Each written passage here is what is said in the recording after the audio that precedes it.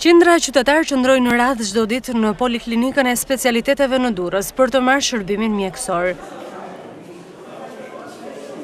Të ardhur edhe nga rrethinat e qytetit disa kilometra larg, me shpresën për të mbaruar punë përgjatë të gjithë ditës, ata tregojnë se ka raste që largohen pa marrë shërbimin e nevojshëm, edhe pse gjendja e tyre shëndetësore nuk është e mirë. Të lodhur e të irrituar nga pritjet e gjata në radhë, ata qëndrojnë të heshtur pas dyerve me shpresën e vetme për të mbaruar punë sa më shpejt që të jetë e mundur. Radhët e gjata krijohen që në sportelin e parë, ku pacientët duhet të pajisen me numrat përkatës, nga ku më pas të marrin shërbimin pranë mjekëve specialistë. Edhe mos të rrinë njerëzit në radhë.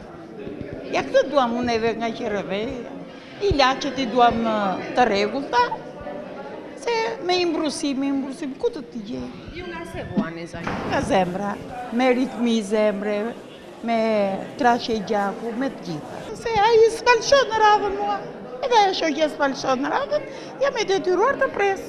Nuk e di të shofim tashi, ne kemi ardhë më përpara, kemi një javë që kemi ardhë, kemi marrë planifikimin, për sot edhe themi që të mbarojmë punë. Të po vizitë, të të orë, asë gjama të jatë. Kemi shumë që jenë në rrës, me do të të mërë? Kemi gjysore.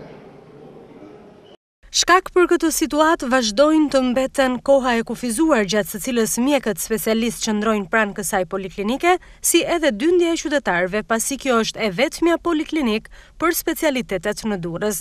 Sipas personelit të poliklinikës, personat që marrin shërbim janë të shumë në numër, çka bën që çdo ditë të krijohet e njëjta situatë. Radhët e gjata pranë kësaj poliklinike nuk janë diçka e re, pasi me këtë situatë jemi përballur thuajse çdo herë. Por ajo çfarë kërkojnë pacientët është zgjidhja sa më shpejt e këtij problemi nga ana e institucioneve përkatëse, në mënyrë që të marrin fund një herë e mirë sorollatjet e tyre.